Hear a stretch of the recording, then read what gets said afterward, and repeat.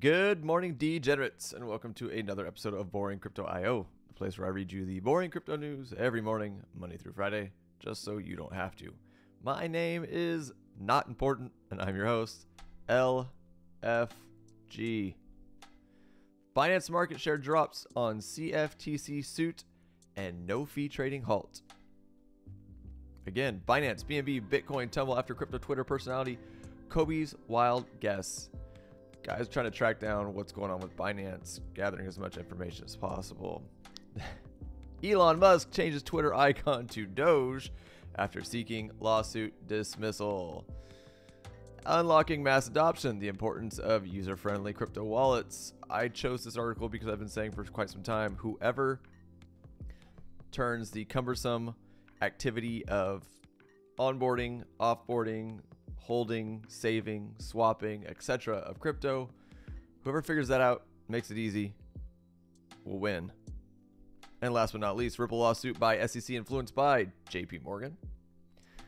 Let's go to the markets. Market sitting at 1.181 trillion dollars. Bitcoin dominant sitting at 46.2%. ETH up to 18.7 and a whopping 21 Gwei will get you an ETH transaction.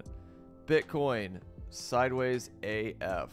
5% on the week, not doing much on the day. ETH starting to move just a little bit. Got a 3% pump on the day, 7.5 for the week. Outside of that, we've got Dogecoin. So apparently yesterday, and I, I, hopefully this article will give us a reason why, because I haven't done any research on why it may have happened, but Elon changed the um, the Twitter logo to uh, the Doge dog, and people went absolutely ham. Um, I look, I'm not a fan of meme coins at all. I think they're pointless, I, and and I I can get pushback on that all day long. I don't care. Um, it, with with projects out there that are literally world changing that, that could literally change the face of the world and, and have all such like all sorts of potential um, uh, insane intelligent smart brains working on the projects to to create use case etc etc uh, that could pump humans default to meme tokens. So i'm not a fan but whatever we'll play your game elon. I'll throw stupid money at it or a little bit of stupid money. And by stupid i don't mean a lot. I mean like bullshit money that i don't really care about but whatever. That, so Doge pumped, and we're going to try and find out why. Uh, Cardano, 13% on the week. Not doing much today. And yeah, nothing crazy going on. Let's go to Bitcoin.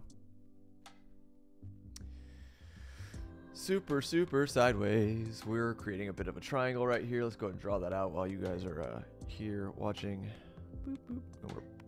Either this can be a triangle right here, which makes sense to me, or it was a triangle and we're breaking out. Right? Something along those lines, but I don't like that. Let's go ahead and put this right there. Tighten it up a little bit. And we just had a little bit of a movement too, nothing crazy, but um, yeah. Let me finish this out. Something possibly like this. Maybe, maybe not. That looks a little too crazy. Something like right there. Swing high, swing low, swing high, swing low, swing high, swing low, swing high. Decision time is coming. Um, but yeah, what we've been doing, this isn't a four hour, just in case you guys don't know. Uh, we've been just ranging. And I said this yesterday. Uh, what is interesting, this 27310, which is actually a buy order of mine, um, seems to be good support. We dipped down and hit it yesterday on the four hour, came back up. Making even more support is this 27593. Let's just call it 276 for shits and gigs. Support, support, support, support, support, support. Um, good levels of strength, right? Um, so anywhere from this 27.3 to 27.6, It's a good range of support. Keep your eye on it. Any kind of there's a retracement. If you're playing swings, it's it's not a bad idea to put in longs. Outside of that, we've got our nasty, basically 29 level that is insane resistance. Um, as well as this trend line forming as resistance. Keep an eye on that, guys. This new trend line that I just drew with this triangle. Um, with these triangles, Bitcoin is either going to make a decision and break out, or it's going to make a decision and reverse. Um, again, just keep your eye on it. Uh, watching it on the four hour, if it does break out any direction, um, to validate it, look for either a retest and a, another move in the same direction, or for four hour close, or for four hour candles to close outside of uh, the pattern in whatever direction it decides to go. At that point, we have uh, made a different trend. So Ethereum, Ethereum broke out just now. Um, let's go to the one hour. Here, we'll bounce through the timelines. Uh, we have been flirting with this eighteen hundred dollar level uh, for quite some time, up and down, up and down, up and down, in and out. Um, and we're getting a good breakout right now. Let's see if it holds, because um, it hasn't. Again, breakout here didn't hold. Here didn't hold. Here did not hold. And now we're getting a substantial one, the highest one we've seen in quite some time. Um, again, one, two, three, four, five, six, seven, eight. This is the ninth time we've broken out of this $1,800 level. Let's see what it's going to do. So that's on the one hour. Let's look at smaller time frames too. Let's go to the 15.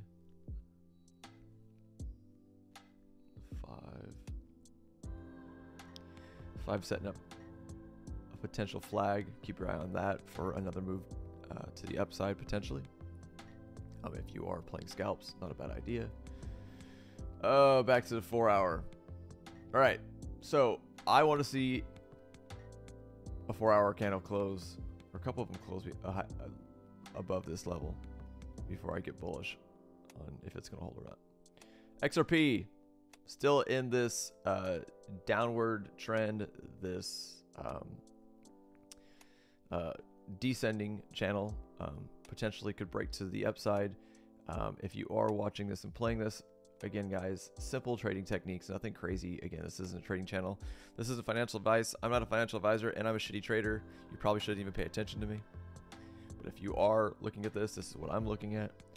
Uh, again, swings, if you're playing them, these aren't huge swings. Um, I mean, yeah, not wouldn't be my my cup of tea, but two potential playouts. We turn this uh, 49.3 into support and then start ranging higher.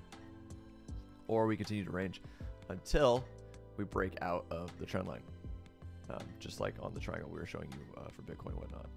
Keep an eye on that. That's four hour. Daily, Cardano is still in this ascending channel, which technically is bearish. Potential, well, I I almost think that at this point with this giant channel, um, this uh, inverse cup and handle is kind of null and void. But I would keep an eye on this channel. Again, playing swing high, swing low, swing high, swing lows if you're swing trading. Um, do not do not long um, or uh, God, I lost my train of thought. Uh, anyways, um, got a lot going on today, guys.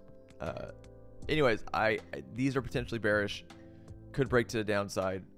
The chances of that are stronger with these channels. So trade cautiously, trade conservatively, stop losses, etc., etc. Let's get on to the news. Binance market shares drop on CFTC suit and no fee trading halt. Binance market dominance fell largely due to its decision to end zero fee trading for some trading pairs and not the Commodity Futures Trading Commission's lawsuit. Uh, says blockchain analytics platform Kaiko. The dominance, the dominance of cryptocurrency exchange Binance in trading volume market share has slipped over the past two weeks following a lawsuit from the United States commodities regulator and its decision to halt some zero fee trading. In an April 4th newsletter, blockchain analytics platform Kaiko reported that Binance lost 16% of market share uh, of trade volume. uh, with its market share at 54% as of the end of Q1. The U.S. Commodity Futures Trading Commission sued Binance on March 27th, alleging it flouted regulatory compliance, compliance and violated derivatives laws by offering trading to U.S. customers without registering with market regulators.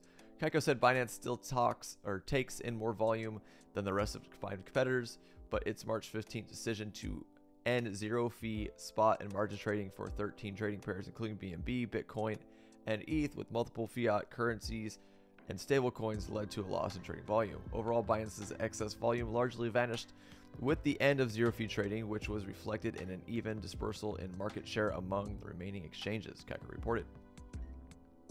Kaiko explained part of this fall was elevated by the US arm Binance US, which managed to triple its market share over the quarter from 8% to 24%. Binance didn't fall excessively in every domain, though. The exchange managed to largely maintain its derivative dominance by only giving up 2% market share over the last quarter. Kaiko explained that the fall in trading volume figures was influenced mostly by the end of zero fee spot trading as opposed to the CFTC lawsuit. The trending the trend is quite different when looking at uh, derivative volume derivatives volume, Binance only lost about 2% of market share for per- perpetual futures trading trade volume. Get the words out. This suggests that the majority of market share was lost purely due to the end of zero fee spot trading rather than trepidatious additions around a lawsuit. The market share uh, fall to 54% comes after Binance was one of the big winners of the FTX fiasco which saw its market share and trading volume rise 65% during the last quarter of 2022. Binance's market share increased from 50% to 65% after November 22, while OKX saw its market share increase from under 10% to 17%. Bybit and the three smaller exchanges, Huobi, BitMEX, and Deribit, Deribit, never even heard of that exchange. On the other hand, saw their market share decline. Over the last quarter, Upbit was the only crypto exchange to reclaim that reclaimed a significant share in trading volume of the 17 trading platforms that Kaiko analyzed.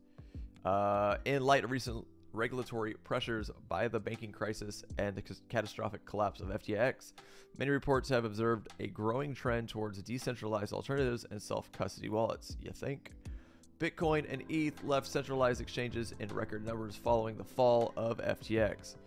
The daily trading volume of decentralized perpetual exchanges also reached 5 billion in November of 2022, the most since Terra Luna Classic LUNC and its connected Terra Classic USD USTC stablecoin collapse in May of 2022.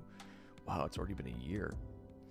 Uh, trading volumes on decentralized exchange Uniswap are now rivaling that of crypto exchange Coinbase and OKX, but are still only a fraction of that process by Binance.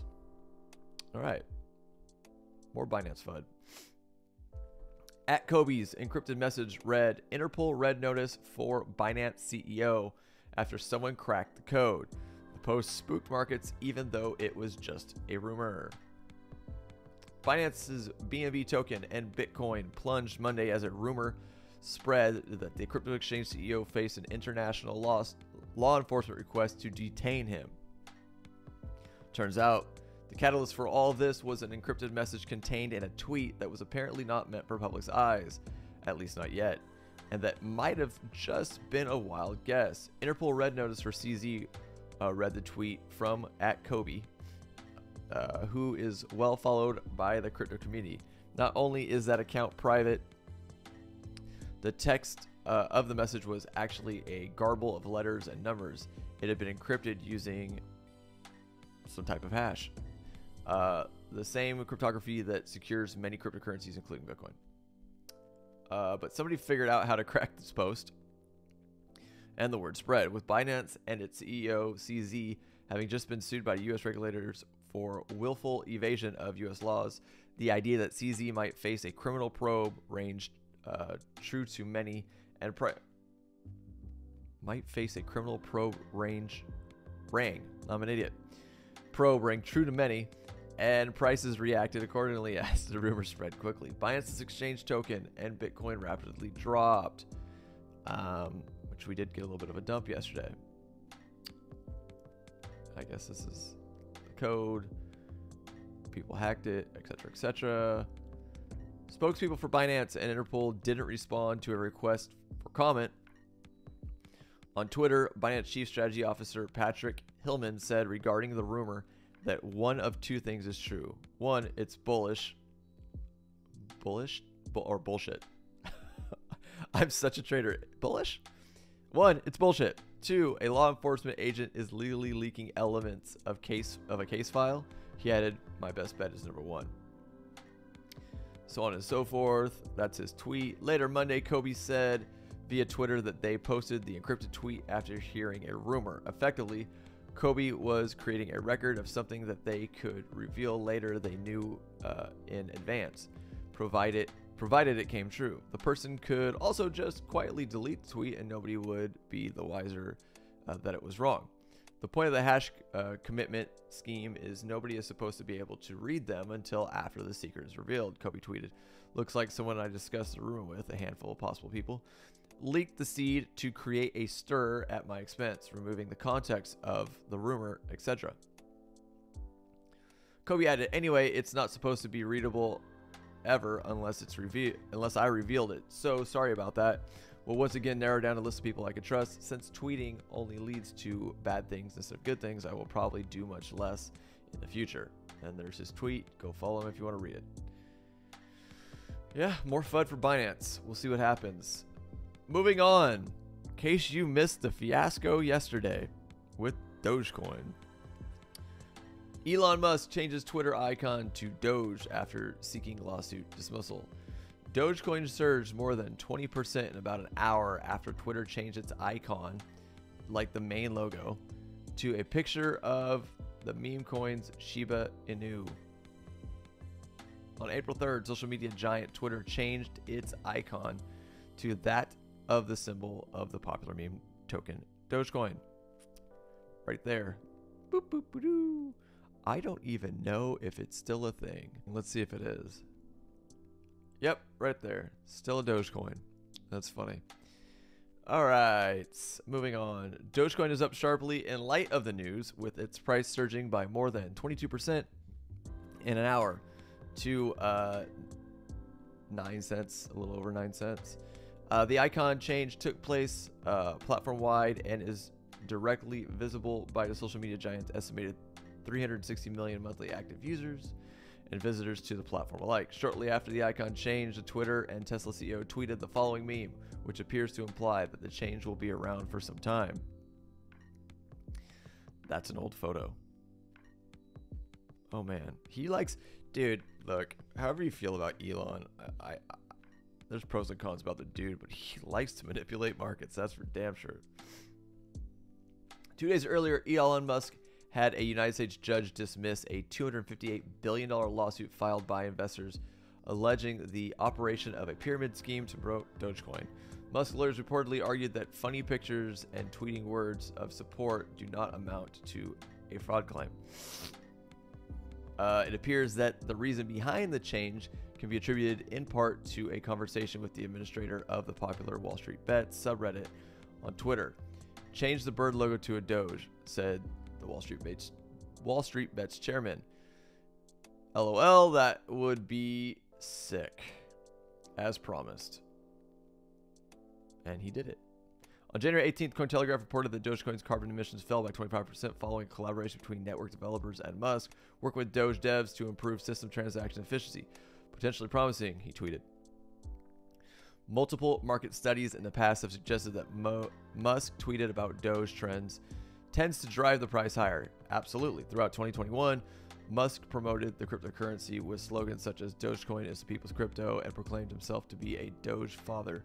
Last year, Tesla launched a new series of whistles inspired by the Cybertruck series. Uh, each whistle was priced at a thousand Doge or 60 bucks at the time of announcement. Fellow American billionaire Mark Cuban has also praised Dogecoin, claiming that it could be used to solve Twitter's spam problem. I don't know, man. Let me know if you what do you guys think about Doge. I'm not a I'm not a meme coin fan. I don't I, I don't like trying to pump them. I don't like trying to promote them. I literally think I have maybe $300 worth of meme coins in my portfolio. Last but not least, Ripple lawsuit by SEC influenced by JP Morgan? Question mark. Uh, FOIA request further delayed. A member of the XRP community filed a Freedom of Information Act FOIA request back in early August of 2022 regarding communications between the U.S. Securities and Exchange Commission and banking giant JP Morgan involving Ripple Lab and XRP. In a new update, Ashley Prosper, nice last name, shared the, that the request continues to be delayed. Absolutely. Uh, Prosper is seeking disclosure from any SEC communications with JP Morgan about Ripple and or XRP. The current response letter states that the SEC has recently received the search results and is now reviewing them. Uh, apparently, there's a large number of records that require confidential treatment. The agency email reads Based on our initial review of the records, it appears that a large portion of the records will be required that we engage in the CT substantiation process, which involves records for which confidential treatment was requested at the time of their submission, engaging in this type of consultation will add approximately 60 days to review. Of course, they're going to block out all the stuff that would get them in trouble or cause them to lose their case. Did JP Morgan influence the SEC's lawsuit against Ripple? Prosper said he filed the FOIA request because communication between SEC and JP Morgan directly led to the December 2020 lawsuit against the Ripple Labs company. It was prompted by an article on a blog called the Blue Sky Blog that discussed CEO donations related to SEC enforcement. Uh, a very compelling read. So, how does Jamie Dimon and JP donate to the SEC? My next FOIA. Prosper wrote at the time, uh, further detailing that the lawsuit harmed thousands of XRP holders to the tune of billions of dollars. Exactly. Uh, the SEC communications are of great public interest, according to Prosper, as Judge Sarah Netburn and Judge Analisa Torres also noted in a different context. That's why the XRP Army member is demanding the information be released without charge so the public can better understand how private companies influence the SEC and its staff, which is funny because I say this all the time. Isn't the SEC put in place to supposedly quote unquote protect investors? right. Until recently, Prosper assumed that the release of documents related to JP Morgan Ripple and XRP could occur in late March, possibly because District Judge Analisa Torres has not yet issued a ruling, but documents appear to be protected under confidentiality. A release appears to be 60 days away at the earliest, according to the latest response from the agency. By that time, Judge Torres might have already issued a ruling, at least at the at, at least at that is the assumption of some lawyers from the XRP community, such as John E. Deaton and James Filan. Both are expecting a ruling to come by the end of the month. However, the chance of success of the FOIA requests are difficult to assess. Another XRP uh, community member wrote that there is a trend with the SEC. They they won't release anything they don't want to until they get sued and the court forces them to. Absolutely. Uh, remarkably, Ripple filed a FOIA uh, request at the very beginning of the litigation. Additionally, in August of 2021, the government watchdog group Empower Oversight filed an extensive FOIA request for access to internal SEC documents and records involving Jay Clayton, William Hinman, and Marc Berger for possible conflicts of interest during their tenure. At press time, the XRP price was trading at 49.57 uh, still consolidating after the stellar rally from late March. Yeah, man. Um, all this stuff coming out, all the the secrecy. Uh, I've been saying for a long time. The SEC is literally slitting their own throat with this, and it all looks bad. Let me know what you think. Comments down below. Let's look at Bitcoin one last time before we get out of here. And yeah, we're stuck on stupid inside of the triangle. Outside of that, guys, eh, let's look at Dogecoin one last time. Hold on. Just for fun. What's the chart look like? We are sitting right at 10 cents, y'all. Um, just barely under it. Um, that's that's bullish for, for Doge. I mean, after the pump, the highest it went to was just a little over 10. Yeah. So I mean, we haven't we haven't retraced too much. I mean, look at that. Jesus. That is a wall of buy. That is insanity.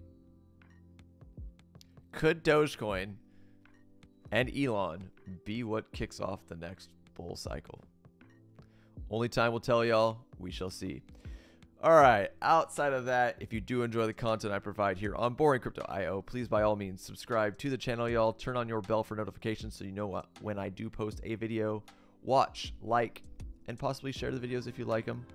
Outside of that, I'll see you bright and early in the morning. I'm out of here.